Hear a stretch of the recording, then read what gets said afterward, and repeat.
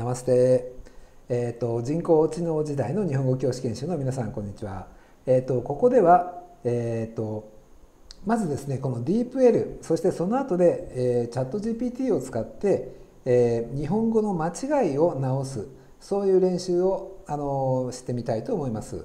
えー、まずこれはですね DeepL はあの翻訳の、えー、サービスですねえ。今ログインしてませんしあの無料で使うことができます。はい、これとてもレベルが高いですね。でここで一つですね、えー、こういうふうに書いてみましょう。でね、ここね、スーパーマーケットの数が伸びてない、パーも伸びてない、あと小さい「つ」がないっていうことですね。でそうするとね、ちょっとここがあのスーパーマーケットっていうふうになっちゃってるんですよ。えー、だけど、あとね、もう一つヨーグルト。ヨーグルトの「ヨー」が長くなってないですけど、ここは正しくヨーグルトになってますね。はい。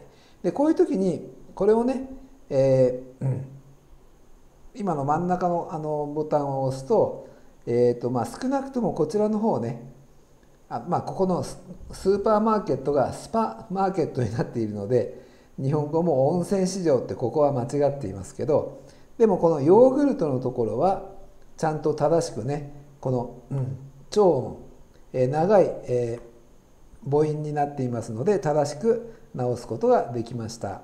はい、でこれはです、えー、次にですねえーと、チャット GPT も同じように、えー、日本語を直すことができるのかを見てみたいと思いますね。はい。えっ、ー、と、はい、今チャット GPT の新しい、えっ、ー、と、変だな。ちょっと待ってね。ちょっとここもう一回クリックしてみましょう。はい、あれ？なんか変ですね。ここに出てこないですね。ここに普通はですね、えっ、と GPT3.5 か4のどちらにしますかっていうのが出てくるんですがちょっと出てこないですね。まあいいや。あ出てきた。出てきました。はい。今出てきましたね。はい。この GPT3.5 これは無料で使えます。こちらはお金を払わないと使えませんが、えー、まあじゃあ今ねこの無料で使える GPT3.5 でやってみましょう。で、えーと、さっきと同じようにえっ、ー、とですねちょっと待ってね。はい、うん、今度はあのえー、っとこうやってお願いしなきゃいけないんですね。